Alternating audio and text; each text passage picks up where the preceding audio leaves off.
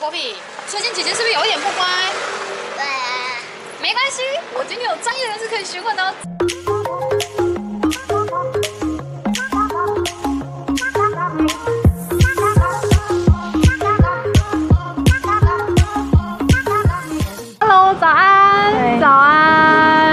我想大家哦，应该不太对我不太陌生。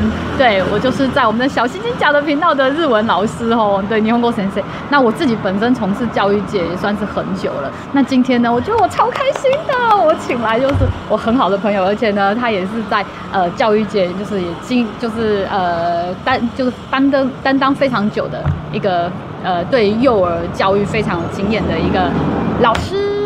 就是我们的佑珍，嗨，大家好。对，佑珍，哎，佑珍，你知道吗？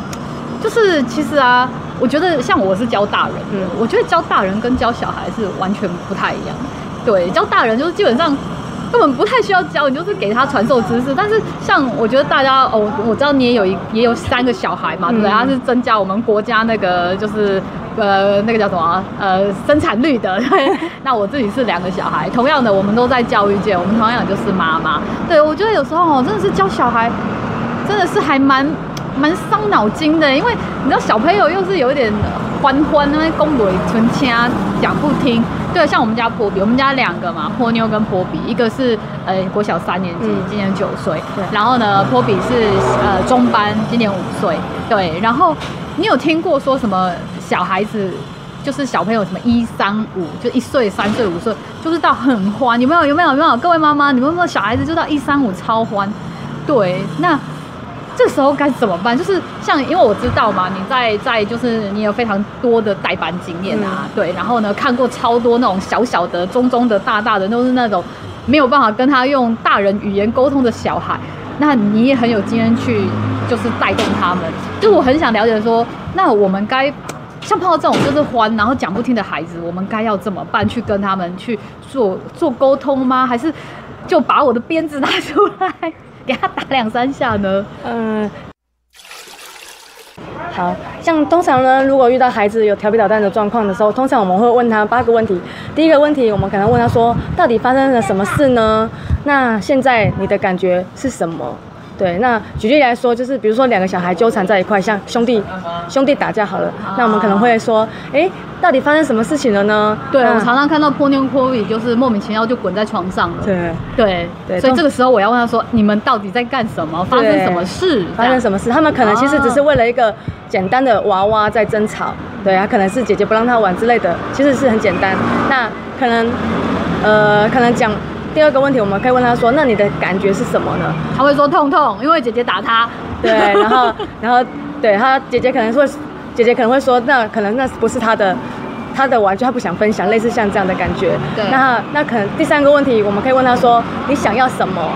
对，弟弟可能会说：“我就是想要那个玩具。对，可是如果这个时候玩具真的不是他的，我们到底要怎么办处理这件事情呢？如果真的玩具不是他的话，我们可以跟姐姐讲说，我们可以用分享的，或者是用轮流的方式去玩。哦，就是还是就是两方都要沟通，不是只跟弟弟讲说对这不是你的，不可以拿。，对，两方都要沟通。嗯然后第四个，我们可以问他说，你觉得有什么办法可以解决呢？比如说下一次我们在玩的时候，弟弟玩五分钟，姐姐玩五分钟，然后玩好的时候再一起玩也可以。我觉得他们会告诉我的解决方案就是妈妈买两个玩具。对，这也是 这个是他们想到的最好的方法。对，那如果我们像刚刚用纠缠的方式去打架，你觉得会有怎样的后果？你就可以问小孩，小孩可能会说，呃，两个人都会受伤。对对，然后妈妈会很生气。对对，不好意思，对。对，那呃，下一次的话，下一次如果你们想要一起玩一个玩具的话，你觉得还可以怎么做会更好呢？就就可以问小孩子这个问题。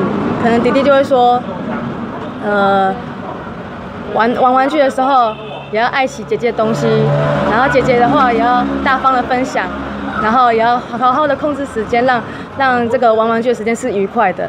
然后最好是妈妈也买两个啦。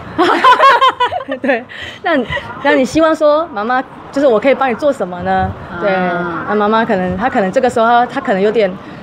呃，有点难过，心情有点不太好，她可能会希望妈妈帮她秀秀啊、呼呼啊，或者是帮忙跟姐姐或弟弟讲讲沟通的话。嗯对，那下一次的话，我们就可以问他说，那这个这个结果的话，最后一个问题我们就问他说，这样的结果你是满意的吗？对，你哦，还要问他满不满意哦。对，是不是跟你想的一样呢？对，哦也是要跟小孩子沟通，因为他们要学习怎么样去解决问题。嗯，对是。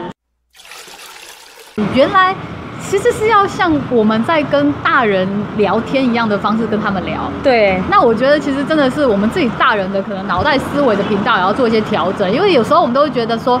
我就是妈，你就是要听我的话，我没有要跟你讲这么多。所以其实小孩我们也是要像跟朋友一样去跟他好好的从一步一步的去跟他沟通。对啊，我们要跟孩子当朋友。啊，所以第一件事情其实我们就是要问他，然后我们也要学会去怎么称赞孩子，对不对？没错对，就是其实大家都说哦，我曾经有听过一个故事，我不知道你们听过，就是说什么两瓶水。嗯。就是原本的水，然后呢，有一瓶水呢，你就一直骂他说你这个烂水，你这个坏水，你这个臭水，嗯。嗯然后就是狂骂他，结果同另外一支水就称赞，另外一瓶水就称赞他说你真是美丽的水，你真是好喝的水，你真是干净的水。结果没想到听说过了一个礼拜之后，就是一直被骂那个水，真的就变成臭水。对，你有听过这个故事吗？我听过的是盆栽的。盆栽的，就是一直骂他，也是盆栽就死掉了。对对，枯萎了。对，所以其实我觉得哈，有时候语言的力量，语言本身其实就有力量，我们要学会先称赞孩子，对然后称赞他呢，然后呢就鼓励他，鼓励他呢，然后呢你可以说说自己小时候的故事。啊，对，对譬如说小时候我跟我姐，因为我们家我是我们家三个姐妹，我是最小，我也常跟我姐纠缠在一起嘛。对对，那纠缠在一起的时候，当下其实我的心情是什么？嗯然后我希望妈妈能做什么，我希望姐姐能够做什么。